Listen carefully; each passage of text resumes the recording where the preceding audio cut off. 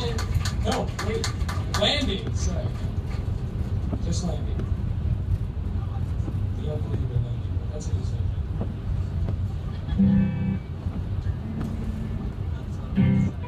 That's who. it's- There's a band from Brooklyn called The Landing. And who cares?